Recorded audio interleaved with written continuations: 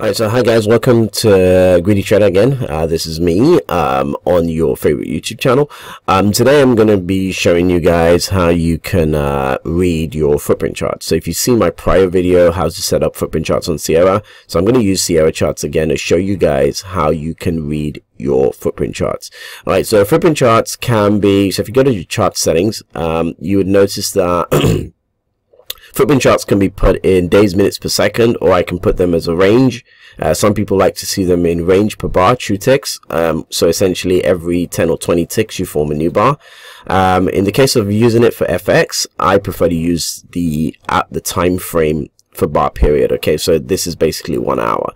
Right, so 60 minutes, as you can see, one hour. So I prefer to use that. Okay, so just to sort of put everyone on an even keel.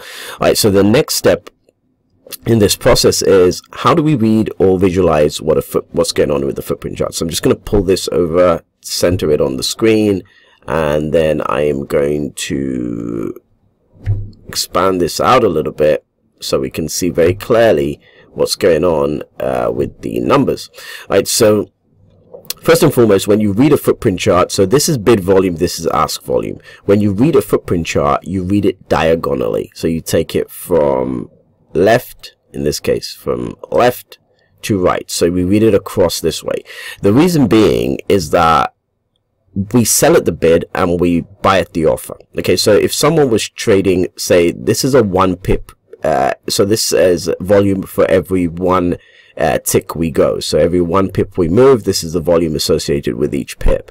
All right. So if we were, say, for example, there was a trader trading on the bid at, let's say, 132, and then we traded the offer. Say there's a one pip spread so that's 132 flat to 132.01 okay?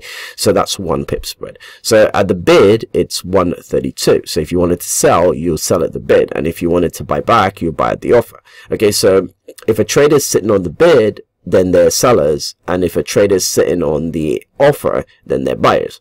So we go so we go up to buy on the offer and we go down to sell at the bid. And that's why we have to read it diagonally. So essentially any buyers at 132 will really be buying at 132.01 so these are the two that are associated the offer here versus the bid. So when we look at this we try and see how much offer we have versus bid right?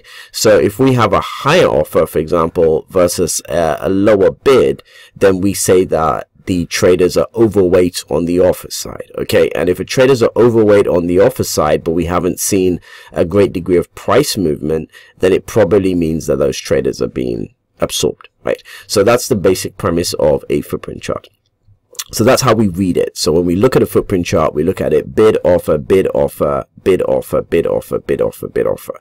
All right. So the key is to kind of see how the offers come in relative to the bids and what point we are when we're seeing this kind of price action right? So this is pretty crucial. Um, so that's the basic premise really. Footprint charts are really simple. It's just really looking at all the volume traded at every single price line.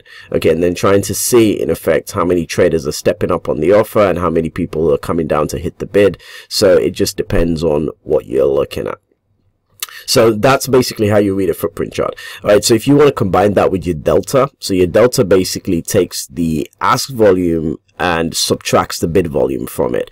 So essentially a positive delta would mean that we had a higher ask and lower bid. Okay. And that would show up in green and a negative delta means we'll have a higher bid and a lower ask. So let's take, for example, we're looking at this uh, particular um, uh, bar here, this one hour bar. So over the hour, we had a 37 positive delta, which means that there were definitely more buyers in here than there were sellers um, in effect, but the delta is quite low for the spread. Um, you can see that it's 37 and the spread is quite wide. So this is obviously saying that we're overweight offers at the moment at a pretty high price.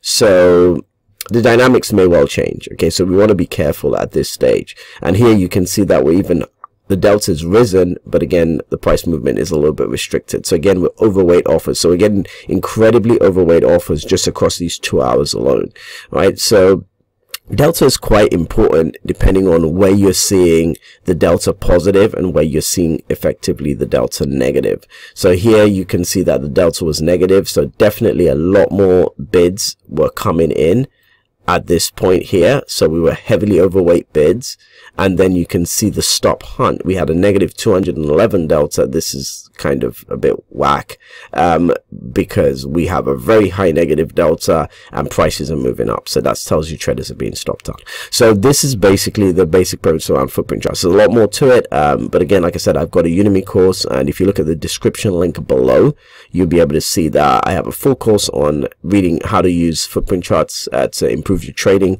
Um, you just go to that. It's a Udemy course. It's pretty cheap. Just go to the link in the description below and that will take you there.